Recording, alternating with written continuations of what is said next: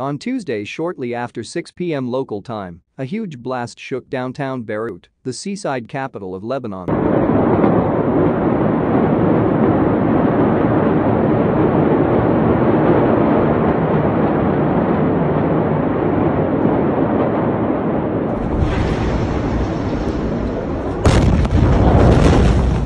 It was so strong that it generated seismic waves equivalent to a 4.5 magnitude earthquake felt in Cyprus some 150 miles away.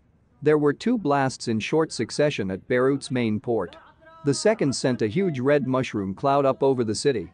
The shockwave from the blast tore across Beirut, knocking people off their feet, destroying buildings, flipping cars and blowing out windows. Some of the worst devastation happened in downtown Beirut, where residents were sent running for cover as pieces of buildings rained down. One of them was a bride whose wedding day video was dramatically interrupted when blast ripped through a square in the central district.